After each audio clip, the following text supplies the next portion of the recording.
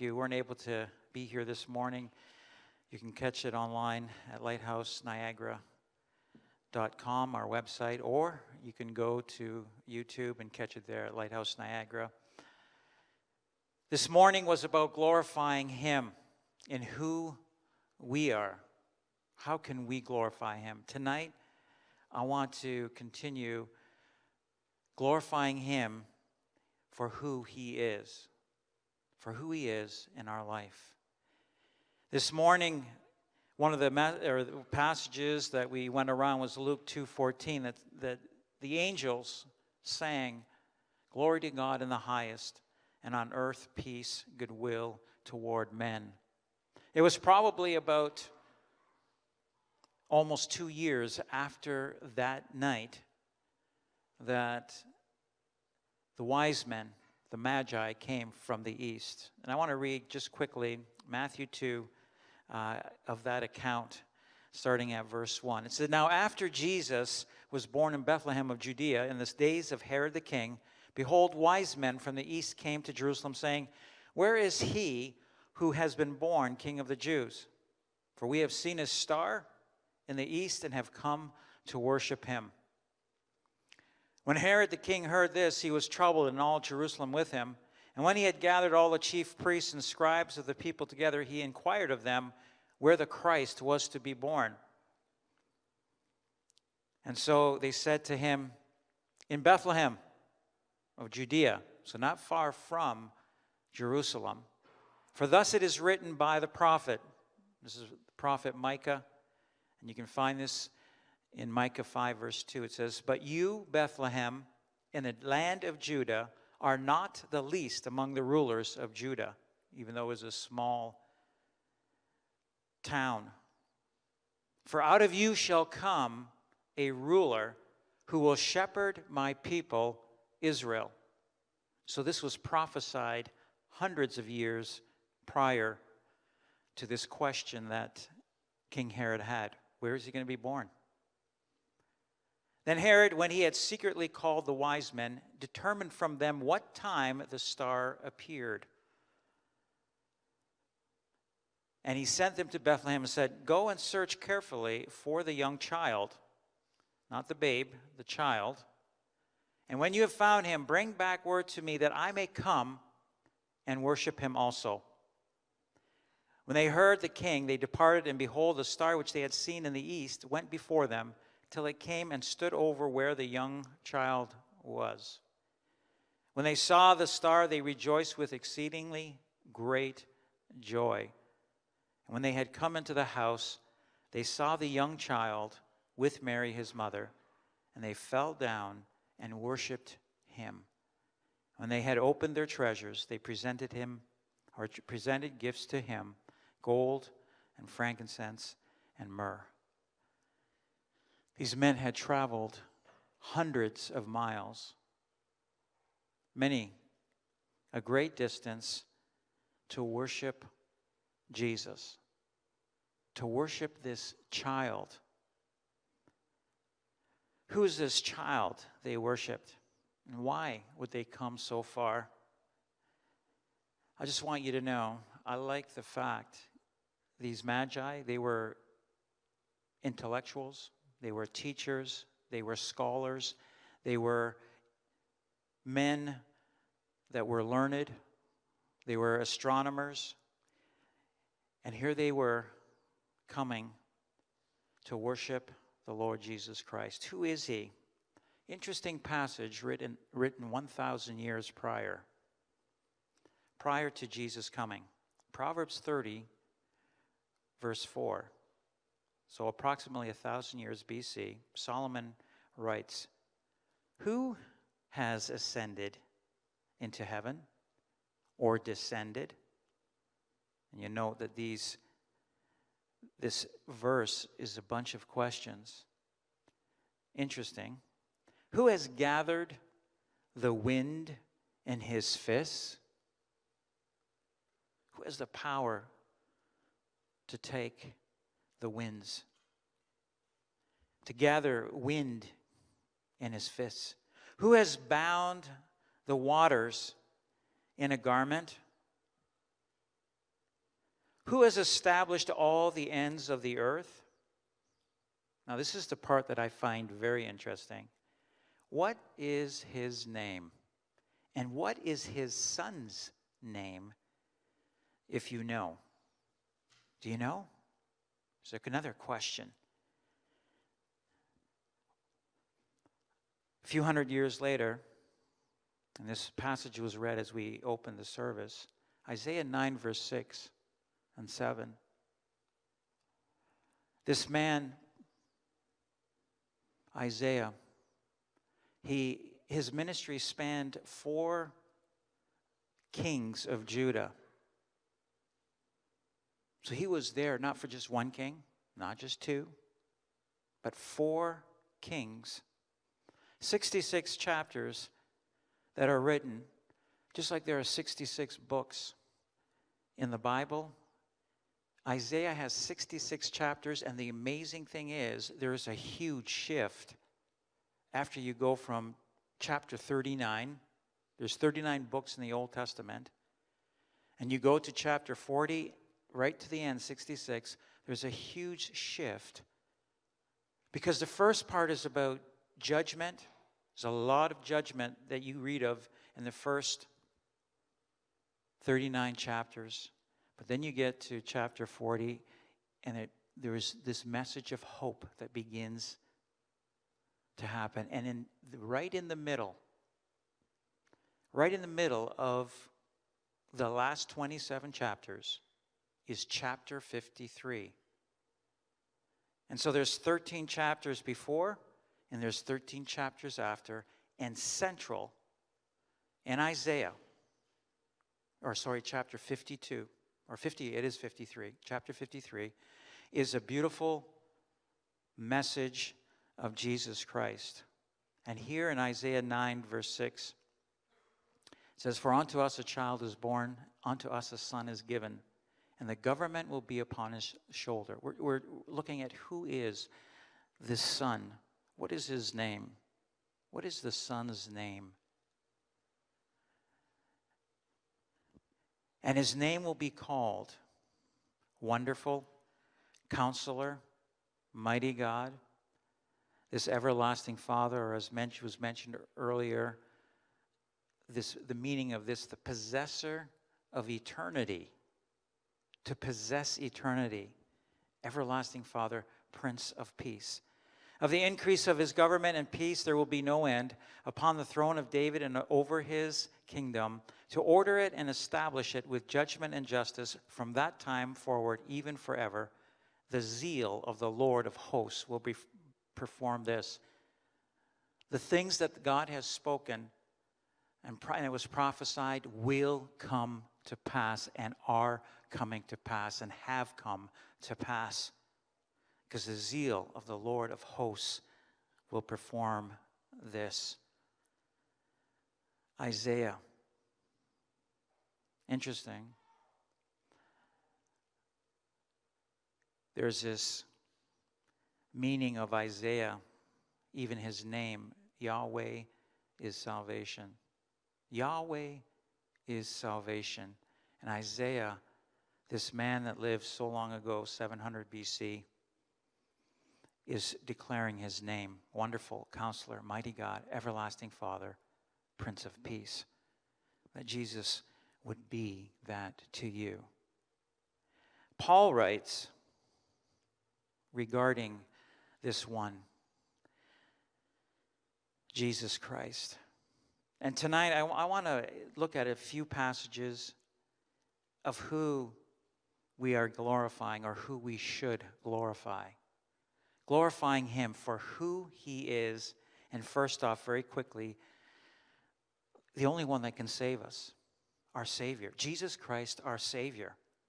1 Timothy 1:15 says, "This is a faithful saying and worthy of all acceptance that Jesus Christ came into the world to save sinners, of whom I am chief. Of all the sinners, I am chief of all sinners." However, for this reason I obtained mercy. The Lord gave me mercy, even as the worst of sinners, that in me first Jesus Christ might show all long suffering, or all patience as a pattern to those who are going to believe on him for everlasting life. I find that interesting. In fact, who was Paul? Paul was an extremely educated, zealous man, zealous for what he believed in. He was against the way, he was against those that followed Jesus. And at the point, or he, his main focus was to persecute and seek out to persecute those that would follow Jesus Christ. And can Christ do a work of changing this chief sinner as we recognize? You might say, Man, I am too far gone. The Lord is saying, I am able to change you, I am able to, to save you. Paul says of himself in, in Acts chapter 26, and he's standing before King Agrippa. King Herod had already died, and King Agrippa was the king at that time, the king of the Jews, even though he was under the rule of the Roman Empire. And this is what Paul writes of himself My manner of life from my youth, which was spent from the beginning among my own nation at Jerusalem, all the Jews know. They know, you know about this. You know where I came from. They knew me from the first if they were willing to testify that according to the strictest sect of our religion, I lived a Pharisee. And now I stand and am judged for the hope of the promise made by God to our fathers. To this promise, our tw- uh, 12 tribes, earnestly serving God night and day, hope to attain. This thing of hope, the promise to God or God, God made to even to the fathers. For this hope's sake, King Agrippa, I am accused by the Jews. Why should it be thought incredible by you that God raises the dead? Indeed, I myself thought I must do many things contrary to the name of Jesus of Nazareth. This also did this I also did in Jerusalem, and many of the saints I shut up in prison, having received authority from the chief priests. And when they were put to death, I cast my vote against them. This man, Saul, or later to be called Paul, was responsible for the death of many. And when they had a chance to, to uh, have a word or whatever, and there was a, a judgment on them, Paul would always, Saul would always cast his vote against them. And I punished them often in every synagogue and compelled them to blaspheme. And being exceedingly enraged against them, I persecuted them even to foreign cities. While thus occupied, as I journeyed to Damascus, that's the same Damascus that's in Syria today, same city.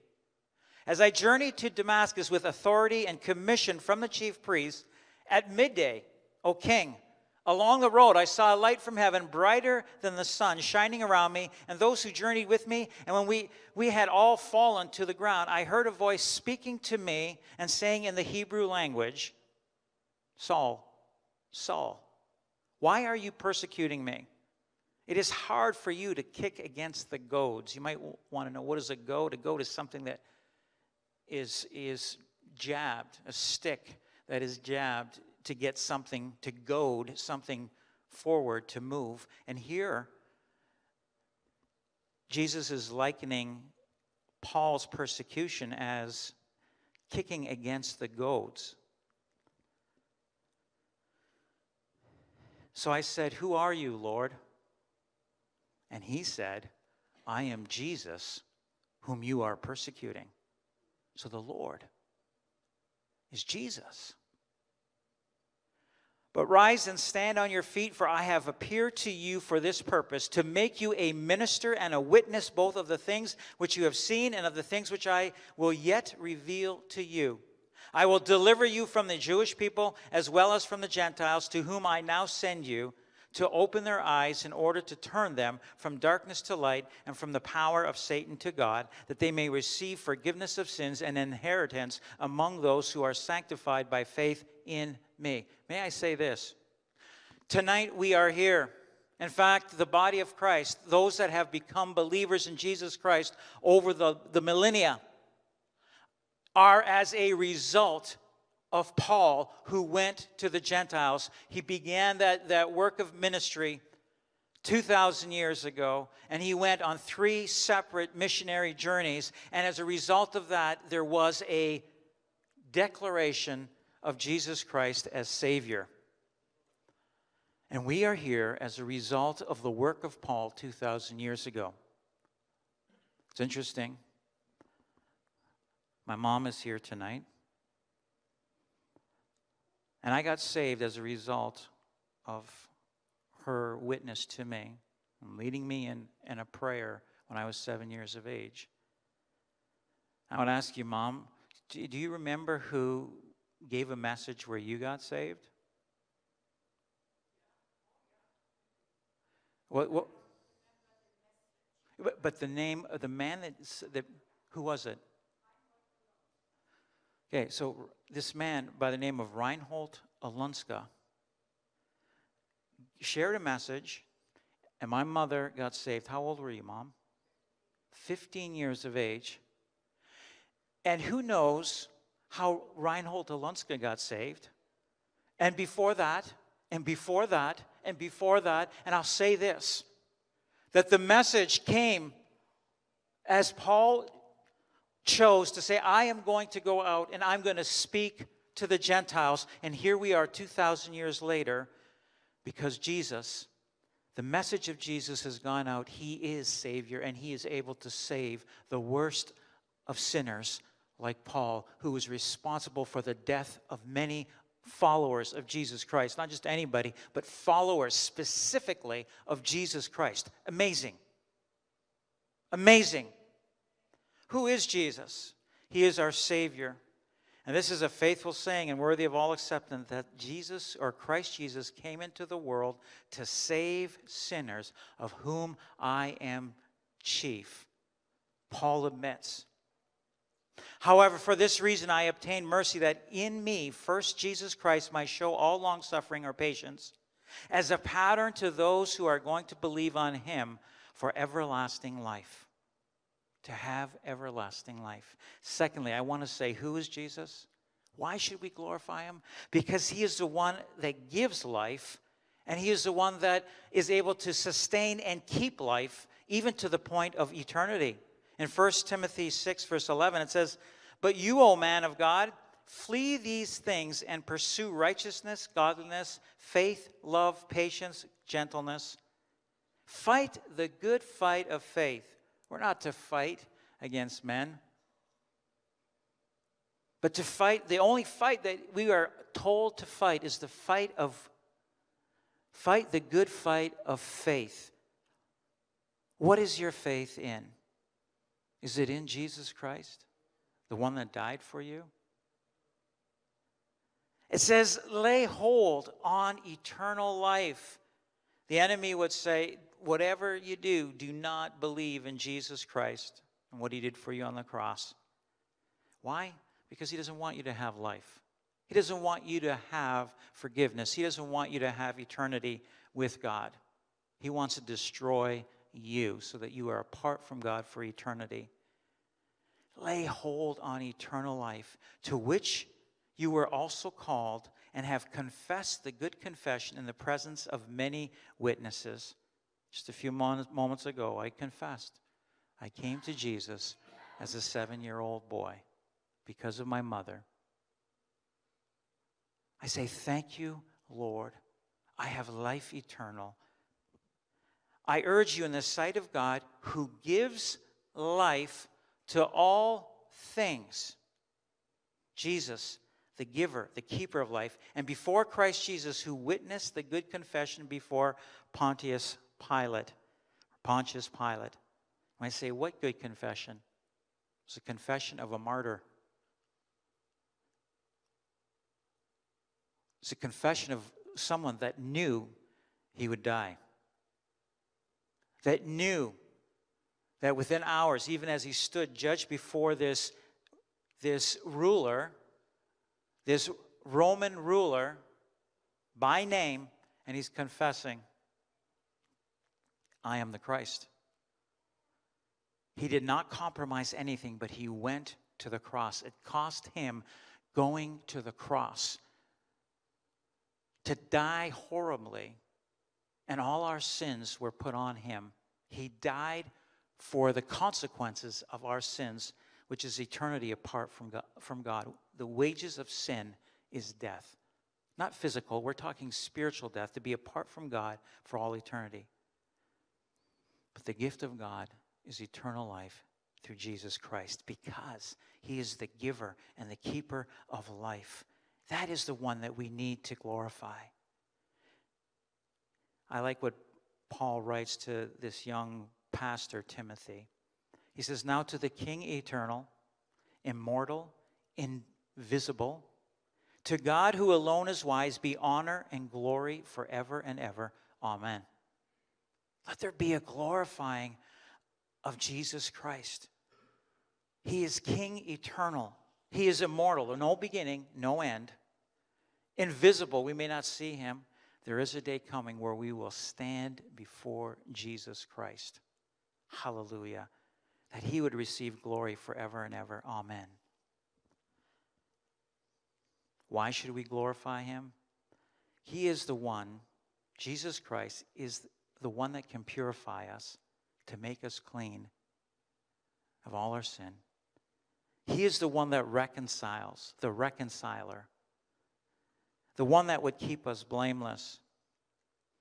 In 1 Timothy 6:14 it says that you keep this commandment without spot, blameless until our Lord Jesus Christ appearing. appearing. Jesus came 2000 years ago with a purpose. I'm going to the cross. The next time Jesus comes back, it will be to catch us up so that we would be with him for eternity and also that we would also spend eternity with him when he comes back a thousand years, even here on this earth. say, wow, is that even possible? Immortal, blameless,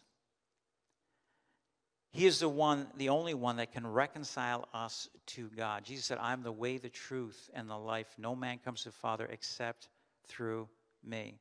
It's interesting, this word reconcile, basically, it has two parts to it, to this word. One of them has to do with this thing of being separated, of any kind of separation of one thing from another by which the union or fellowship of the two is destroyed. So there's this thing of, of coming apart. I don't know if you've ever been, I don't know, put apart in relationship from others. You say, oh man, I, I am so upset because I have no more uh, relationship. Maybe if something said, something that was done or not done or not said, and there's no more relationship.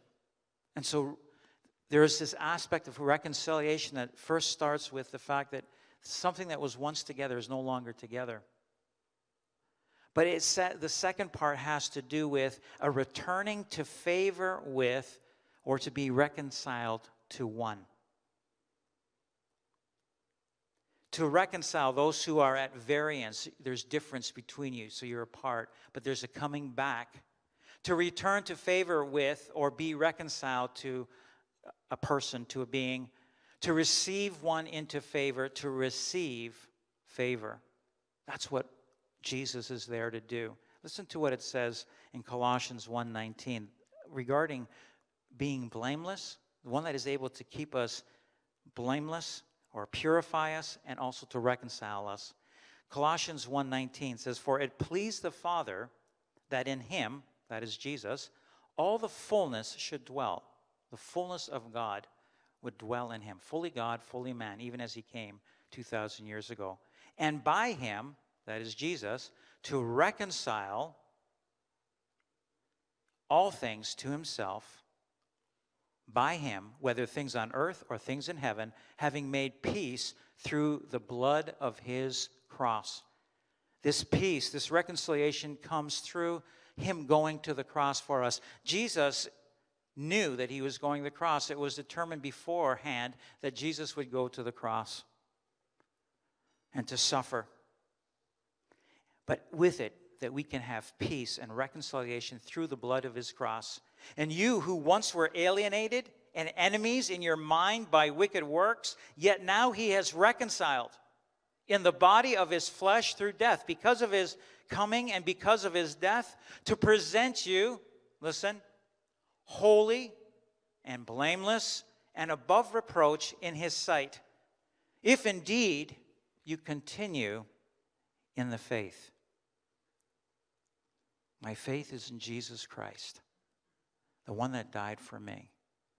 If indeed you continue in the faith, grounded and steadfast, and not moved away from the hope of the gospel which you heard, the good news, Jesus Christ and Him crucified. That's the gospel, which was preached to every creature under heaven, of which I, Paul, became a minister.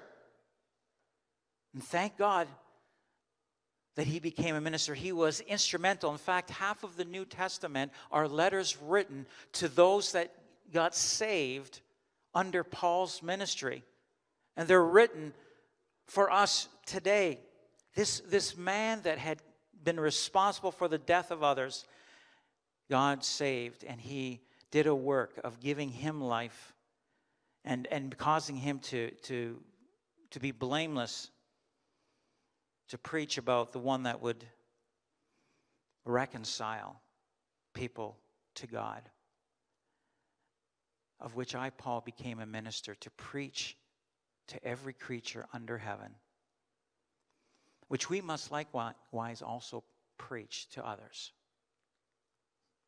One of the most exciting things for me as a pastor, and outside of being a pastor, even before being a pastor, was talking about Jesus and specifically the good news of Jesus Christ for the sake of salvation.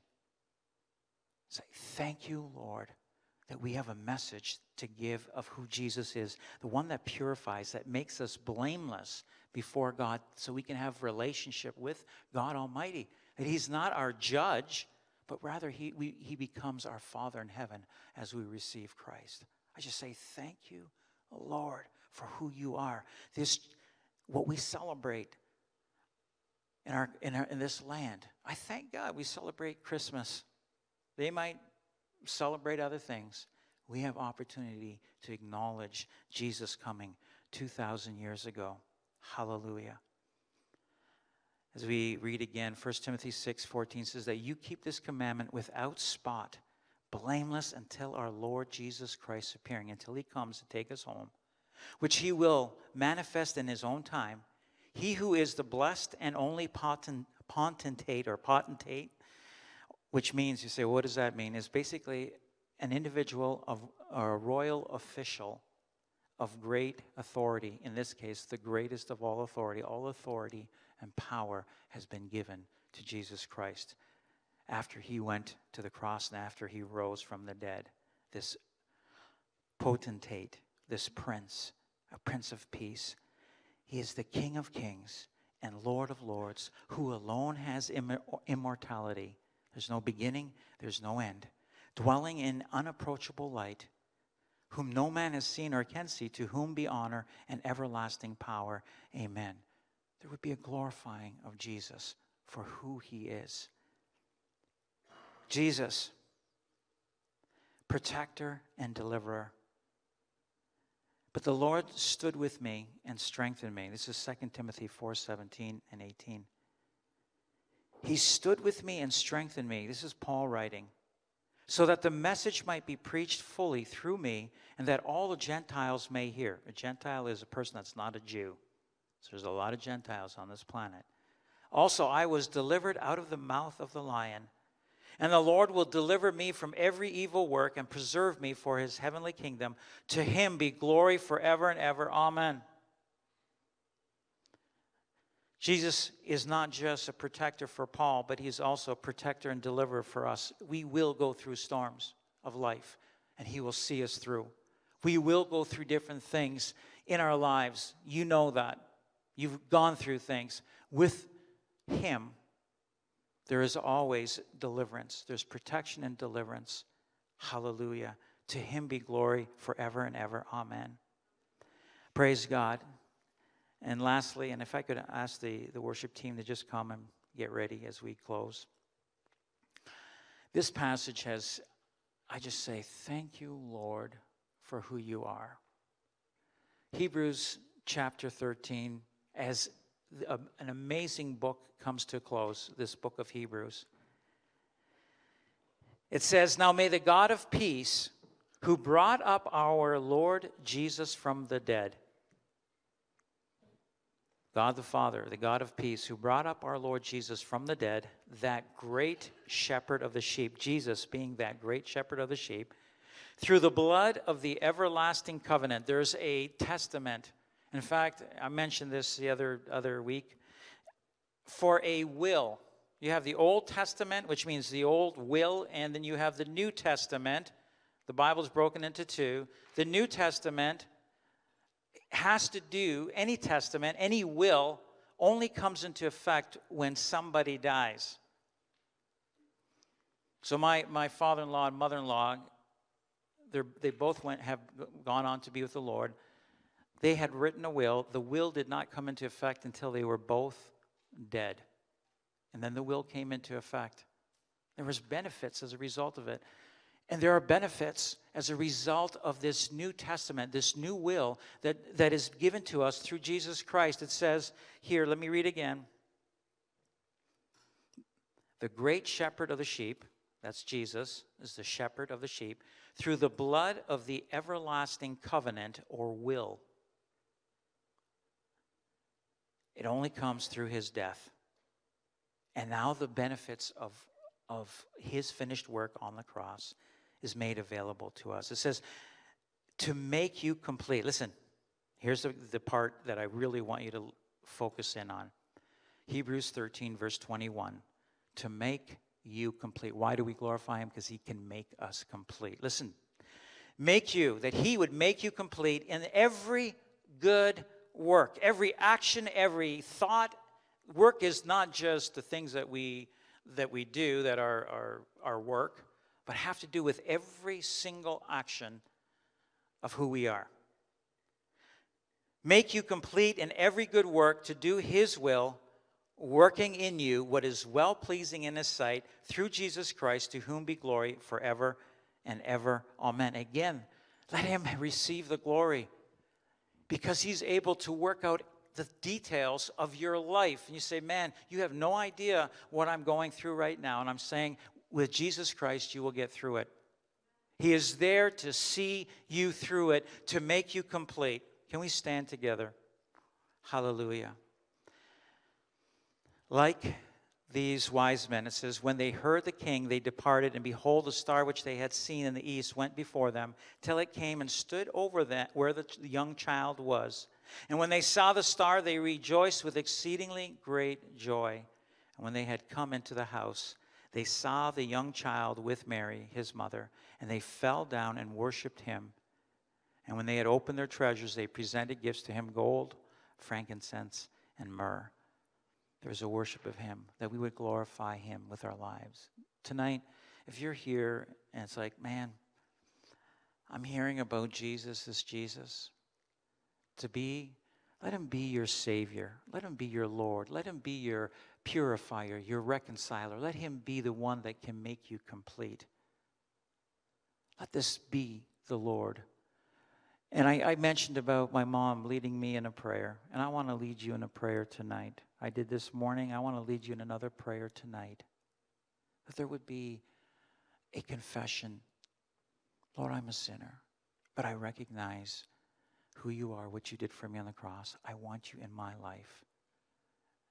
So we want to, if we could, just pray this prayer together. And this morning or this evening, I'm not used to being here on a Sunday night, sorry.